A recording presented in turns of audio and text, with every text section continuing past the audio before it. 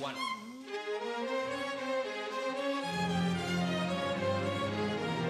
Tā sajūta vienkārši, ka visi tiešām um, sēž taisnām mugurām, tā teikt, un, un cenšas katru noti uh, ar maksimālu atdevi pat mēģinājumos spēlēt.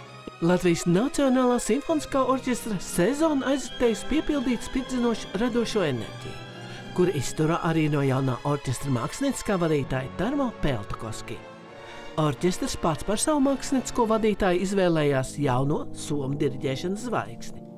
Jaunais galvenais diriģents ir ļoti prasīgs, un muzeķi ir ļoti uh, sagatavojušies un ļoti koncentrējušies darbam, jo viņi izbauda, viņiem patīk šis darbs uh, kopā. Orķestra mākslinieckais līmenis arī iet tikai uz augšu. Sezona ir gājusi mums ļoti, ļoti veiksmīgi. Es tiešām esmu ļoti lepna par mūsu muzeķiem, par mūsu koncertiem, arī ar Kristīnu Posku, ar Maestro Sinaiski, ar Andri Pogu ar maestro Kazadesī. Viņš ir uzaicinājis mūsu orķestri kopā ar viņu uzstāties nākamajā gadā Exomprovence festivālā, kas ir ļoti slavens eh, klasiskās muzikas festivāls.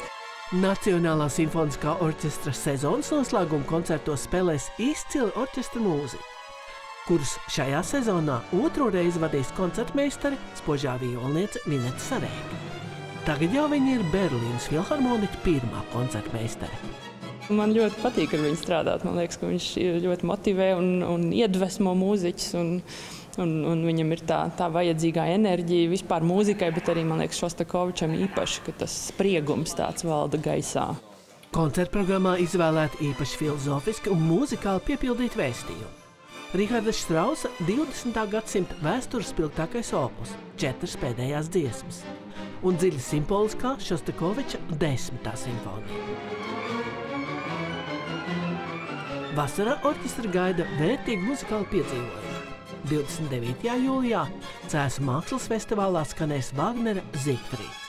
Tarmo Peltokoski ir ļoti karsts Wagnera uh, fans, cienītājs, mīlētājs. Visus epitetus varētu lietot.